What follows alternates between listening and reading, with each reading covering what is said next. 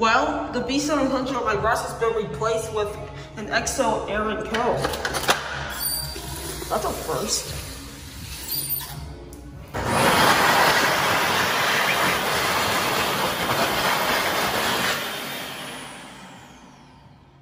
Very nice dryer.